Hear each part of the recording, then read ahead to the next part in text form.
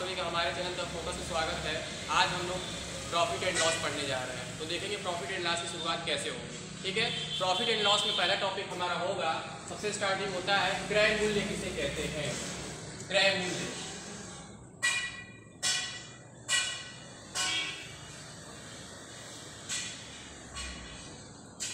तो क्रय मूल्य के बारे में हम लोग जानेंगे।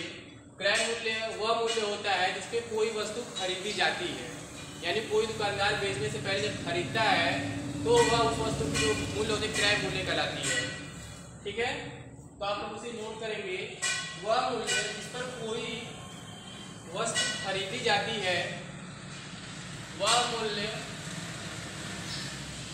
जिस पर कोई वस्तु खरीदी जाती है,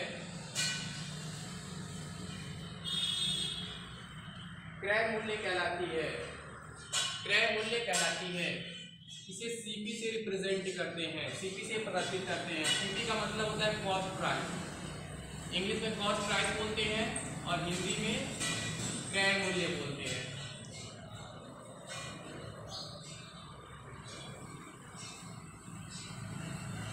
फिर क्रय मूल्य हमारा हो जाएगा, इसके बाद आते हैं विक्रय मूल्य पर। यानी जब वस्तु को बेची जाती है तो वो मूल्य जो होता है। तो यहाँ पे निकालेंगे विक्रय मूल्य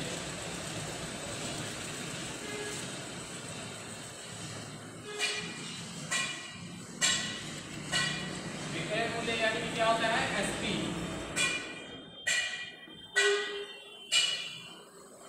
सेलिंग प्राइस ठीक है तो विक्रय मूल्य में लिखेंगे हम लोग डेफिनेशन वह मूल्य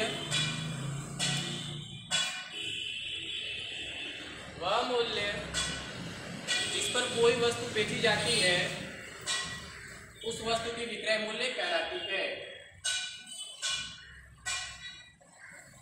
उस वस्तु की विक्रय मूल्य कहलाती है। अब क्रय मूल्य, विक्रय मूल्य हम समझ लिए यानी जिस मूल्य पे खरीदते हैं, वो क्रय मूल्य होता है, जिस मूल्य पर बेचते हैं, वो विक्रय मूल्य होता है। अब हमारा टॉपिक का नाम है profit and loss profit and loss यानी कि लाभ और हानि। तो पहले हम लाभ की बात करेंगे कि लाभ हमें कैसे होगा। लाभ या मुनाफा? लाभ या मुनाफा? इंग्लिश में कहते हैं प्रॉफिट प्रॉफिट मतलब सीपीएससी हम जानते हैं और अगर हम कोई सामान कम रुपए में खरीद के अधिक रुपए में बेचते हैं नॉर्मली देखा जाए तो हमें लाभ होता है, यानी कि प्रॉफिट होता है। तो अगर हमारा एसपी जो है, हमारा एसपी जो है, यानी सेलिंग प्राइस जो है सीपी से बड़ा हो, यानी कॉस्ट प्राइस से बड़ा हो तो हमें हमेशा लाभ होगा। क्या होगा? लाभ प्रॉफिट होगा, ठीक है? सपोज़ दैट कि हम कोई भी सामान दस रुपए में खरीद रहे हैं और बारह रुपए में बेच रहे हैं। तो क्या हो रहा है? बेच रहे हैं ना? तो हमें प्रॉफिट हो जा रहा है ना ये। ये प्रॉफिट हो जा रहा है। जितने का भी हमारे दो रुपए का प्रॉफिट हो रहा है तो प्रॉफिट में क्या करेंगे? अगर एस पी सी पी से बड़ा है तो वहाँ हमें प्रॉफिट हो जाएगा, ठीक है? और जस्ट इसका उल्टा हमारा क्या होता है लॉस यानी कि हानि। तो हानि की बात करते क्या होता है? लॉस जब क्या होता है? सीपी जो है एसपी से बड़ा हो जाता है। यानी जितना हम खरीदे होते हैं उससे कम दाम पे हमें बेचना पड़ जाता है तो यहाँ पे हमारा हानि हो जाता है लॉस हो जाता है। होता है ना कभी कभी लोग कोई सामान लेते हैं तो बिक्री नहीं होती है तो उसे कम दाम बेचने मजबूर हो जाते हैं। तो कहते हैं, हमारा घाटा हो गया। तो वही चीज़ यहाँ पे जब सीपी एसपी छोटा हो जाएगा तो वहाँ हानि हो जाएगी, यानी कि घाटा हो जाएगा। ठीक है इसे नोट कर लीजिए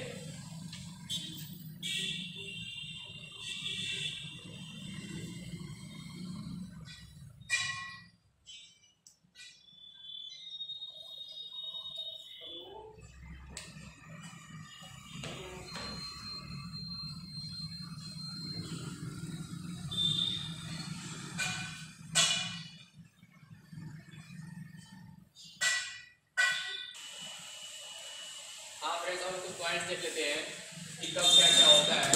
तो हम सबसे पहले ये जानेंगे कि लाभ या हानि की गणना सदर सीपी पर होती है। यानी कि ऐसा भी क्वेश्चन रहे सीपी दिया है एसपी दिया है कुछ भी हो, हम पहले बोल चुके हैं कि सीपी सदैव हंड्रेड परसेंट मानते हैं, यानी कि सौ प्रतिशत मानते हैं। यानी कि हमारा बेस जो होगा, यानी इसी के रिस्पेक्ट में सारे बात करेंगे सीपी के ही बारे में। सीपी ही हमारा बेस होगा। तो लाभ की गणना करना हो या हानि की गणना करना हो हमेशा सीपी को ही हम फोकस करेंगे एसपी को नहीं लेंगे और सीपी को ही अपना बेस बनाएँगे और उसी पे उसकी गणना करेंगे। और लाभ या हानि की दशा में सीपी सदैव हंड्रेड प्रतिशत होता है सौ प्रतिशत। क्योंकि जिसको बेस मानते हैं, उसे हम सौ परसेंट लेके रहते हैं, ऐसा परसेंटेज में भी पढ़ चुके हैं, ठीक है? तो इसे सेम कंडीशन यहाँ भी फॉलो होगा प्रॉफिट एंड लॉस चैप्टर में भी। कि जब हम लाभ हानि की दशा में क्या करेंगे सीपी को हंड्रेड परसेंट रखेंगे। यदि किसी लेन देन में दो आदमी है, एक खरीदार तथा दूसरा विक्रेता होता है। आप नॉर्मली देखते हैं कि शॉपकीपर के पास जाते हैं, कोई सामान खरीदते हैं तो आप खरीदार होते हैं जो खरीदते हैं जो बेचता है शॉपकीपर दुकानदार वो विक्रेता होता है। तो किसी भी लेन देन में हमेशा क्या होता है, एक खरीदार और एक विक्रेता होता है। दो खरीदार एक साथ सकते दो विक्रेता मिल सकते हैं, क्योंकि जब भी कहीं लेन देन होगा तो खरीदार और विक्रेता दोनों आना चाहिए साथ में, तभी पॉसिबल है। वैसे पॉसिबल नहीं है, ठीक है? अब इसके बाद हम जानते हैं कि अंतिम मूल्य क्या है। अंकित मूल्य वह मूल्य होता है जो भी आपके किसी भी सामान पे प्रिंटेड होता है, यानी कि क्या होता है मार्क प्राइस बोलते हैं, या एमआरपी भी बोलते हैं। एमआरपी का मतलब होता है maximum retail price maximum retail price यानी कि अधिकतम खुदरा मूल्य। अधिकतम खुदरा मूल्य। ठीक है? एमपी क्या होता है? प्राइस होता है जिसको हम लोग प्रिंट पे डाले रहते हैं, जो कि हमारा कॉस्ट प्राइस नहीं होता है। कुछ ना कुछ कॉस्ट प्राइस अधिक होता है, क्योंकि ये क्या होता है ना मैक्सिमम रिटेल प्राइस होता है। मैक्सिमम रिटेल प्राइस मीन्स होता है अधिकतम खुदरा मूल्य, यानी इसमें कुछ दाम छुड़वा सकते हैं, ठीक है? और इसको एम आर पी का एक और मतलब होता है ये जुड़ जाता है inclusive of all taxes inclusive of all taxes यानी कि सभी करों सहित यानी एमपी जो होता है या एमआरपी जो होता है, इसमें सारे कर जुड़े हुए होते हैं, ठीक है? वो उसका कीमत केवल नहीं है, उसमें कर जोड़ के रखा होता है। कस्टमर से लोग अगर एमआरपी बेचते हैं तो ज़्यादा प्रॉफिट पा जाते हैं दुकानदार, ठीक है? तो एमपी को समझेंगे, एक वस्तु के एमआरपी को अंतिम मूल्य या छपा मूल्य देखेंगे इसका नाम छपा मूल्य जो छपा हुआ होता है, ठीक है? और एमपी द्वारा प्रदर्शित करते हैं। एमपी का मतलब क्या होता है? मार्क प्राइस यानी कि छपा मूल्य, ठीक है? इसी का इंग्लिश है एमपी मार्क प्राइस और छूट की दशा हम बात करेंगे, जब छूट वाला कोई क्वेश्चन होगा तो उसमें एमपी पे हंड्रेड परसेंट लेंगे। लाभ या हानि कसम क्या होता था? सीपी को हंड्रेड परसेंट लेते थे, ठीक है? सीपी को सौ परसेंट मानते थे। जब छूट की बात आएगी यानी एमपी को दिया हुआ उसको छूट दे रहा है तो सौ प्रतिशत हम किसको मानेंगे? एमपी को, ठीक है? मार्क प्राइस को। हाँ फ्रेंड अब हम प्रॉब्लम्स पे आते हैं। देखते हैं हमारे प्रॉब्लम्स क्या कहते हैं। तो पहला क्वेश्चन हमारा ये कह रहा है एक व्यक्ति एक वस्तु को अस्सी रुपए में खरीदता है और सौ रुपए में बेचता है तो उसका प्रतिशत लाभ ज्ञात कीजिए। अगर क्वेश्चन में ये लाभ हानि नहीं दिया हुआ है, ठीक है? कभी कभी क्वेश्चन बन जाता है कि प्रतिशत लाभ या हानि ज्ञात कीजिए। यहाँ तो हमको बोल दिया, लाभ ज्ञात कीजिए। क्वेश्चन थोड़ा सा हमारे लिए आसान हो गया।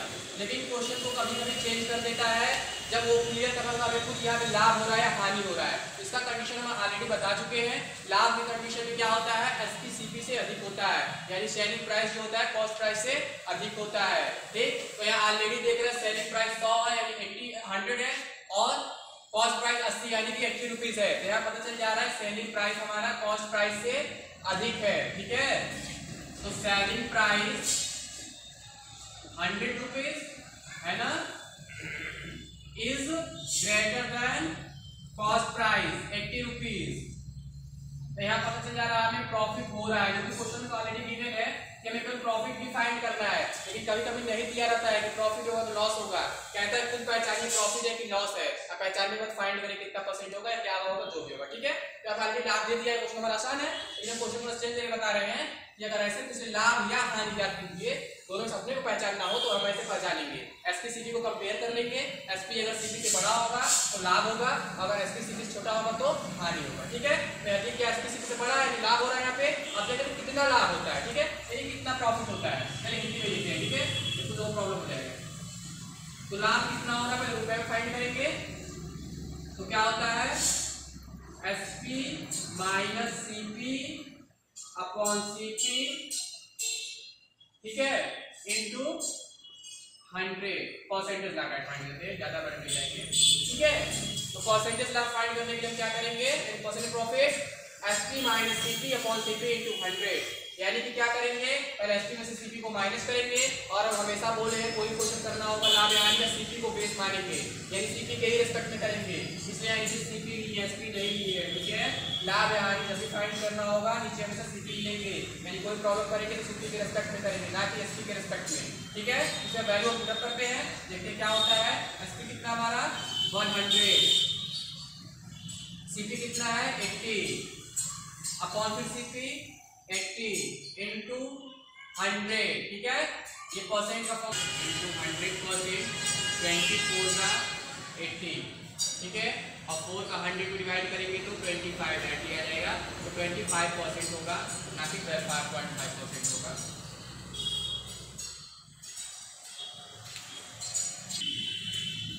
हाँ फ्रेंड्स हम नेक्स्ट क्वेश्चन देखते हैं नेक्स्ट हमारा क्या कह रहा है? सेकंड क्वेश्चन जो है, यहाँ पे कह रहा है एक बेईमान दुकानदार। बताइए, दुकानदार बेईमान होते हैं। होते हैं, ये सबको जानता है। एक बेईमान दुकानदार, वस्तु को, वस्तु या किसी वस्तु को, उसके क्रय मूल्य पर बेचता है, लेकिन किग्रा के स्थान पर 900 ग्राम के बाट का प्रयोग करता है। अब सोचिए, सामने वाले को लगेगा कि वो तो उतने भी बेच रहे सब खरीदा था। अगर उसको पता चलता है क्रय मूल्य बेच रहा है। जितना खुश होगा जो खरीदार होगा। कि जितने खरीदा उतने का हमको बेच रहा है। लेकिन उन्होंने जाकर उसको चूना लगा रहा है। कैसे बाट में तोलने में चूना लगा रहा है। ठीक है? तो ऐसे क्वेश्चन बहुत इंपॉर्टेंट होते हैं। क्वेश्चन में उल्टा कर देता है। कुल न दे करके क्वांटिटी जब देता है, मात्रा देता है कि कितना मतलब खरीदा, कितना बेच रहा है। वो तो ऐसे है। तो सामने समझेगा, हमको तो कितना आसान मिल गया, कितना सस्ता मिल गया। लेकिन ऐसा होता नहीं है। ऐसा नॉर्मली हम रियल लाइफ में देखते नहीं है। कुछ सब्ज़ी वाला होता है तो बाट में नीचे कुछ लगाया भी जाता है, कभी भी कुछ भी किया जाता है, फिर और मशीन भी होता है, तराजू में। ठीक है? बहुत चेंजिंग करते हैं ऐसे सब ठग लेते दुकानदार होता है। तब क्वेश्चन पे आते हैं पहले। यहाँ पे बेईमान दुकानदार है, ये किसी वस्तु क्रय मूल्य पर बेचता है एक किग्रा स्थान पर 900 ग्राम में बाट का प्रयोग करता है। अब ये सोचिए, यानी कि 900 ग्राम सामान ले रहा है, और हज़ार ग्राम एक एक के का दाम ले ले रहा है। तो सौ ग्राम का प्रॉफिट हो रहा है ना? यानी ये दुकानदार का क्या हो जाएगा तब? दुकानदार का सीपी जो होगा, यानी कॉस्ट प्राइस क्या हो जाएगा?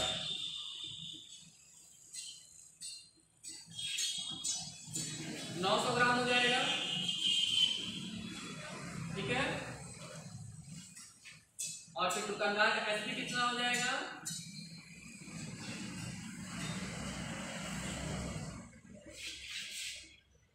One K G equal to thousand gram.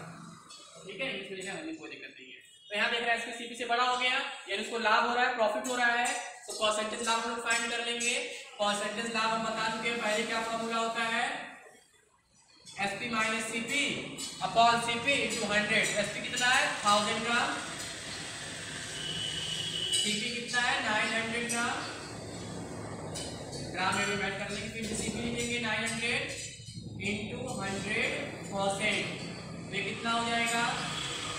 One hundred gram में लिखेंगे अभी तो पहले से ज़रूरत नहीं कैसे मिलेगा one hundred upon nine hundred into one hundred तो ये क्या हो रहा है आपका? डबल ज़ीरो से डबल ज़ीरो कैंसिल हो गया। हंड्रेड अपन नाइन बचा। अब इसको डिवाइड करेंगे। तो नाइन वन जा नाइन बचा अपन वन ज़ीरो में टेन नाइन वन जा नाइन फिर वन बचा तो वन अपन नाइन एक्सप्रेशन में आ जाएगा। Eleven whole one upon nine percent इसे प्रॉफिट हो रहा है। Any problem okay thank you हाँ फ्रेंड्स नेक्स्ट क्वेश्चन पे आते हैं। देखते हैं क्या है क्या कह रहा है। यहाँ पे कह रहा है, एक व्यक्ति को एक वस्तु को एक हज़ार पैंतालीस रुपये में बेचने पर पाँच प्रतिशत की हानि होती है। यानी अगर कोई व्यक्ति किसी वस्तु को एक हज़ार पैंतालीस बेच रहा है तो उसे पाँच प्रतिशत की हानि हो जाएगी ठीक है?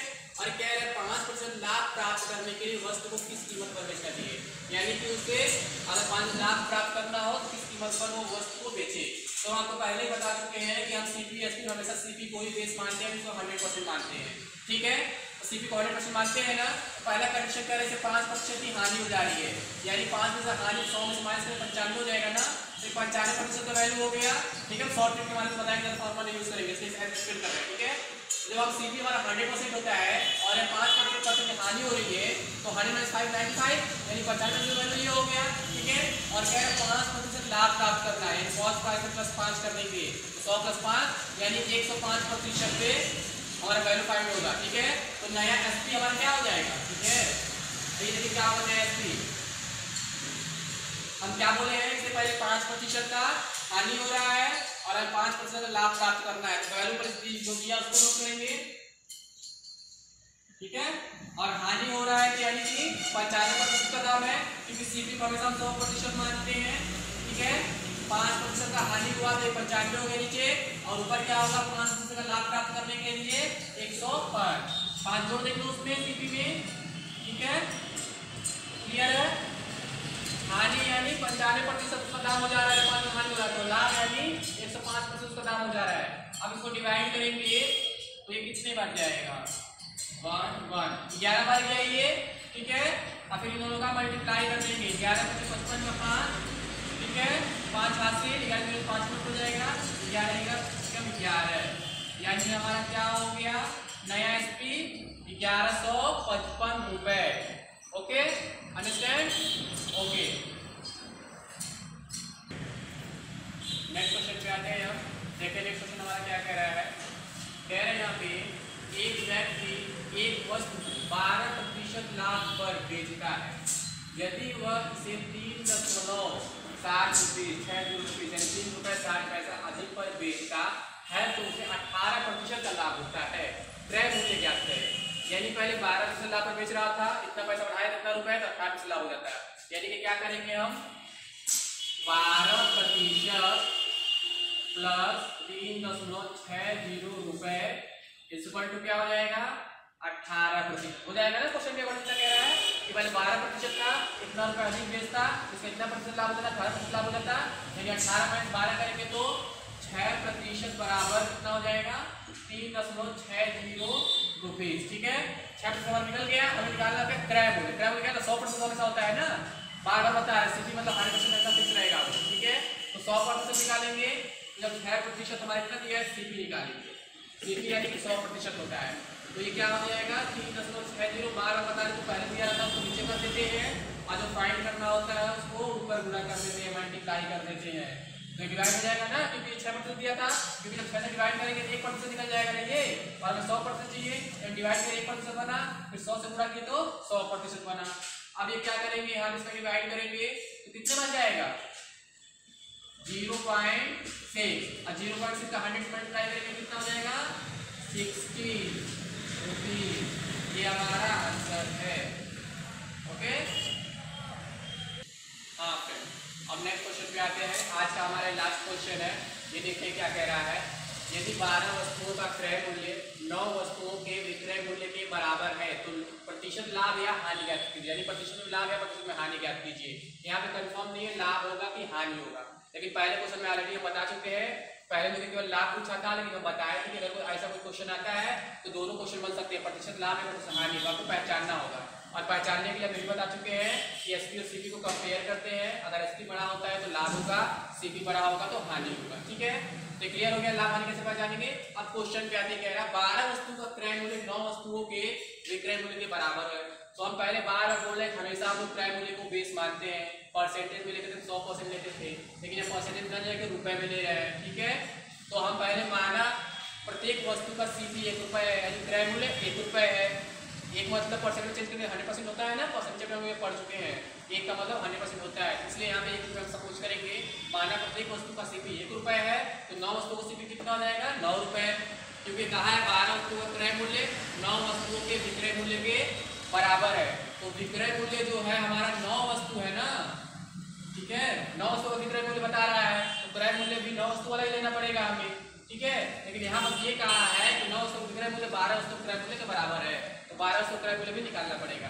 तो जब एक वस्तु का क्रय मूल्य हमारा एक रुपए है तो नौ वस्तु का क्रय मूल्य बारह रुपए होगा। क्लियर है? ऐसे अगर नौ वस्तुओं का ये गलत हो गया है।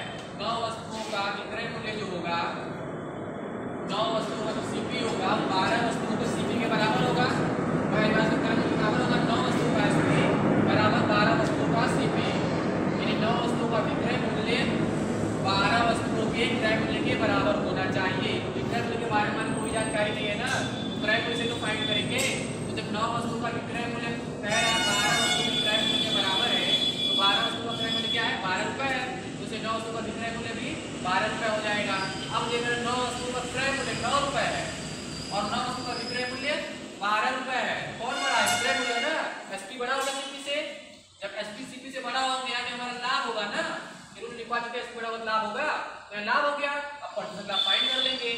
तो बारह वस्तु, नौ वस्तुओं का विक्रय मूल्य कितना है? बारह रुपए है, और नौ वस्तु क्रय मूल्य कितना है? नौ रुपए है। S minus C P upon C P into hundred तो बारह माइनस नौ, बटे नौ, ठीक है? तो तीन बटे नौ, पूरे सौ। तो इसको जब सॉल्व करेंगे तो तैंतीस सही? एक बटा तीन परसेंट ओके समझ में आ गया? समझ में आ गया ना? अगर आपको हमारा आज का क्लास पसंद आया हो, इस वीडियो को लाइक और शेयर करना न भूलें। और साथ ही साथ ही अगर अभी तक हमारे चैनल सब्सक्राइब नहीं किए हैं तो सब्सक्राइबर ज़रूर करें सब्सक्राइब ज़रूर कर लें।